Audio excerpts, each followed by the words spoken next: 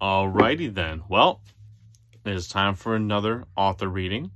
And today I'm going to be doing chapter six of Shallow Seeds, the first story in my crime anthology, Life's Dark Corners. So, um, I've already read the past five chapters. They are available on my channel. Just scroll down and check them out. Unless you want to start at this one, it's totally up to you. So, let's get started. Chapter 6 When he woke up, Calvin found himself lying on his side across the front seats of his car. His side ached from the small storage compartment crushing in, into it. Outside, it was pitch black. As he turned the car back on, the clock on the radio read 11 minutes past midnight. Calvin had been in that spot for seven fucking hours. He got up and tried to rub away the unbearable headache that made him wish he had died. Did he die? No way. He was still alive. He must have overdosed. But no one had come to help him.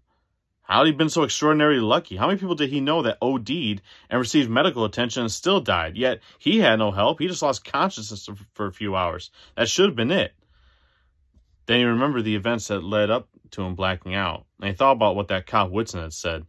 The guy knew where he lived. Calvin considered blowing town for a little while, but then he thought about Roger.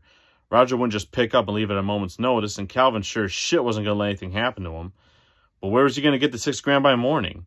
He couldn't even use Shop and Drive because who was ordering groceries at midnight? Calvin scrolled the app for customers. But of course, there were no customers at the moment. Even his premium customers weren't online. The premium customers! All those guys were drug dealers. One of them had to have some money lying around.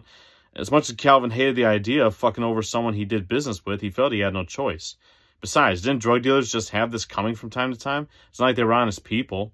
He went through his mental Rolodex, remembering all the drug dealers he got groceries for. Who was the biggest scumbag? Simon Grosswell came to mind. Aside from being a drug dealer, the guy was a known prick to just about everyone he came across. Of all the dealers that Calvin interacted with, he was the most unpleasant. The dickhead wouldn't even give him a tip on the app. Yeah, he can get the big screw. Calvin recalled his address and drove the car out of the parking lot, taking right in the direction of Grosswell's house. It was incredibly risky, and he thought about turning around. Simon had to have at least a few guns stashed around the house, and Calvin didn't have the piece Ralph had given him. If this was bad, if this went bad, he was fucked. Maybe he wouldn't be home. Simon's two-story Tudor house sat on the north side of the street, along a row of similarly affluent houses with freshly cut lawns, thanks to a professional landscaping company and their own neighborhood watch.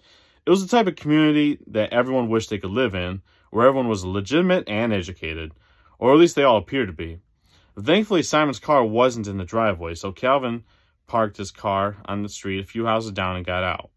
He closed the door quietly, not even closing it all the way for fear of waking up one of Simon's neighbors. He didn't expect many more breaks tonight. Calvin donned a pair of purple gloves from his pocket, a habit he developed during his years of petty thievery.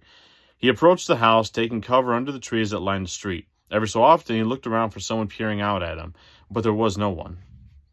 Calvin reached the house, but he had to dive into the bushes that stood below one of the front windows when the motion light turned on. He almost pissed himself out of fear. Jesus, how could he forget about the motion light? Of course, these people would have their own decent security systems. Simon probably had an alarm system inside the house as well. It was just a risk Calvin had to take. And he didn't need to take a whole lot, just enough to cover the six grand he owed that scumbag of a cop. He snuck around to the back of the house and was grateful that there wasn't a fence to climb over. The back side of the house did not have a motion light, which Calvin found odd, but he noticed the security camera and doorbell camera that were probably synced up to Simon's phone. So the back door was out, because he didn't want to get too close them to register movement and alert Simon, but Simon wasn't home. Calvin looked at the windows and decided that he'd have to break one in order to get access. The windows on the first floor were large and would make a lot of noise if he shattered one of them. He settled for one of the basement windows. Calvin found a decent-sized rock in the backyard and threw it at the glass. It shattered, and then he found another rock and cleared the window sill of any extra glass that could cut him as he climbed inside. Seeing that it was safe to enter, he snuck inside the dark basement. Calvin gave his eyes a chance to adjust to the darkness. Moonlight shone through the two basement windows, giving him a chance to better see his surroundings. Getting inside the house was the easy part. It was finding what he was looking for. If there was actually anything to find, that was the hard part. He shuddered at the thought that he was wasting his time and potentially ruining a business relationship for nothing. Despite how Simon was as a person, he was still a reliable customer. The first logical spot where Simon might have had money would be in his bedroom, so Calvin navigated his way up the basement stairs to the first floor. Then he walked across the spacious living room toward a hardwood staircase that led to the second floor. He stopped at the top and looked over the railing onto the ground level.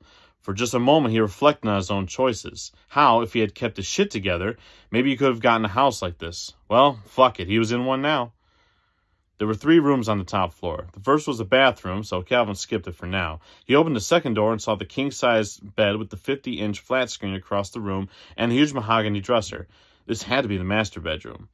Calvin turned on the little flashlight he brought with him and got to work.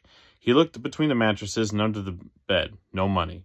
He looked inside the closet. No money. He ransacked the dresser. No money. He searched through the closet one more time, knocking on the walls, listening for a hollow sound that would indicate a false wall.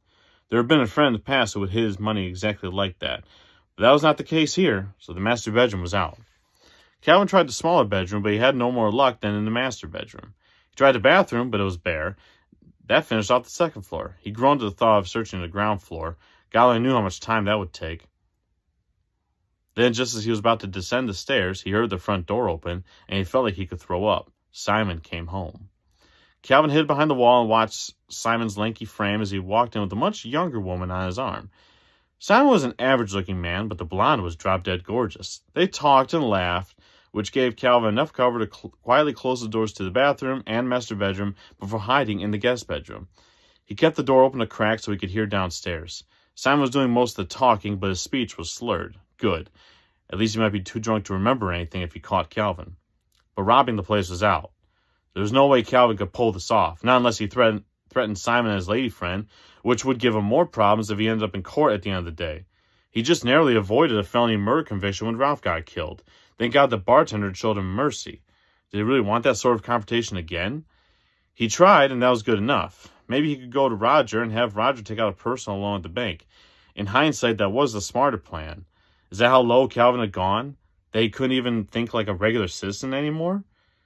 How had simply asking for a loan been the very last measure to take? Why was stealing so much more comfortable? I need money, so I have to steal it or drop off drugs or scam somebody, he thought to himself. Jesus, what a life. Now the question was how he was going to get out of the house without getting caught. He looked outside and saw the bushes below him. It wouldn't be the most comfortable drops, but it was better than breaking a leg. So he opened the window and was about to climb out when he thought of something. Calvin looked back at the closet and thought it was worth a shot. He still had some time, hearing what sounded like a bottle getting uncorked downstairs. Opening the closet door, he looked around. Then he noticed a particular detail that most people, including police, might miss. The floor in the closet in the master bedroom was hardwood floor, while the rest had been carpet. In this closet, it was all carpet. Calvin felt around the edge of the carpet and saw that it was loose. He pulled on it, and the carpet came up in his hands. Underneath the carpet, in the closet was a square cavity in the floor with a small lockbox inside. Calvin grabbed it and ran for the window. He dropped the lockbox into the bushes and followed his new prize all the way down. The bushes were indeed rough, but they were quiet, and they broke his fall perfectly. He snatched the lockbox from where it landed and bolted back to his car. A second later, he drove off into the night. This concludes chapter six of uh, Life's Dark Corners. Hope you enjoyed it. Um, if you are interested in purchasing a copy of Life's Dark Corners. They are available on Amazon for Kindle, Kindle Unlimited, or paperback. Or you can always go onto my website with my personal email on there and message me if you want a signed copy for yourself. You can also sign up to my email subscription there on jamesmichelsbooks.com um, to get updates on any new books I have coming out, deals, events, uh, content, things of that nature.